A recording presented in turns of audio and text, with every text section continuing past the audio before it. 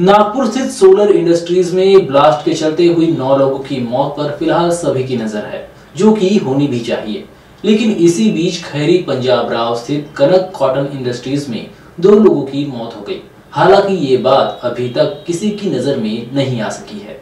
मामला खैरी पंजाब राव का है, जहाँ स्थित Kanak cotton industries, ginning, processing and oil mill के अंदर काम कर रहे तीन मजदूरों में से दो की मौत हो गई। जहाँ मशीन पर काम करने के दौरान मशीन अचानक बंद पड़ गई थी, जिसके बाद एक मजदूर मिल में वही साथी दो लोग बाहर जाकर सो गए। सुबह जब मिल के अंदर सोया हुआ मजदूर बाहर आया तो उसने देखा कि संबंधित दो मजदूरों की कपास के ठर्रे में दबकर मौत हो चुकी है। मृतकों का नाम वीरमा राम देदाराम भिल, उम्र 21 साल, तथा पुखराज मांगीलाल भिल, उम्र 20 साल, इस प्रकार है। जहाँ सोलर इंडस्ट्रीज़ के मृतक मजदूरों के परिजनों को लाखों की मदद प्रशासन द्वारा देने का ऐलान किया गया है।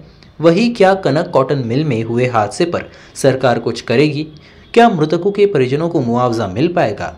ये देखने वाली बात होगी।